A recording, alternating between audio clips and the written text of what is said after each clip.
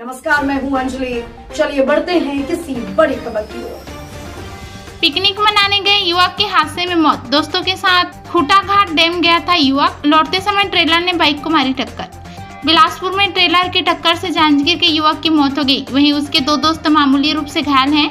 Bike सवार तीनों युवक रतनपुर के खुटा घाट डैम घूमने गए थे। लौटते समय नेशनल हाईवे में तेज रफ्तार ट्रेलर ने उनकी बाइक को टक्कर मार दी, जिससे युवक पहिए के नीचे आ गया और उसकी मौके पर ही मौत हो गई।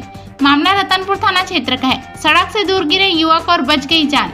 इस हादसे में बाइक सवार राहुल साहू और सन्नी गुप्ता ट्रेलर के चक्कर से बाइक से उछलकर सड़क से दूर जा गिरे, जिससे उन्हें ज़्यादा गंभीर चोट नहीं लगी। इस घटना के बाद आसपास के लोगों की भीड़ जुट गई। उन्होंने पुलिस के साथ ही संजीवनी 108 को कॉल किया, फिर एंबुलेंस की मदद से मामूली रूप से दोनों घायलों को रतनपुर अस्पताल ले जाया गया अभी दोनों युवक उपचार के बाद थाने में हैं।